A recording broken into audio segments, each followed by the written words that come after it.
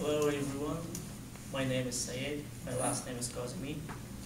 I born in Paktia province, it's southeastern uh, uh, province in Afghanistan. Uh, unfortunately, the war placed. Uh, when I was six years old, we moved to Kabul. I studied high school in Kabul, I graduated from high school and I passed the Concours exam. It's the same thing like SAT in the United States and I got a good, good grade and I entered to uh, Polytechnic of Kabul. It's made by Russia at the Soviet Union time. And then I got a scholarship to Kazakhstan. It's uh, Central Asia.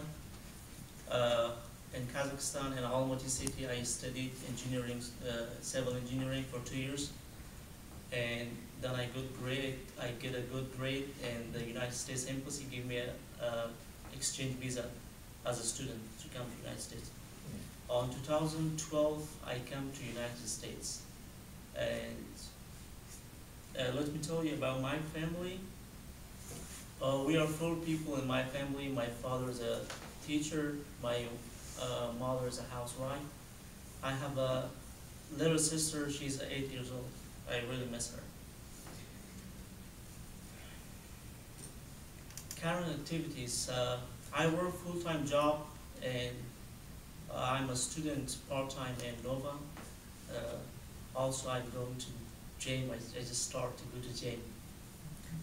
A special interest. Uh, I I'm a player, a soccer player, and I play soccer usually.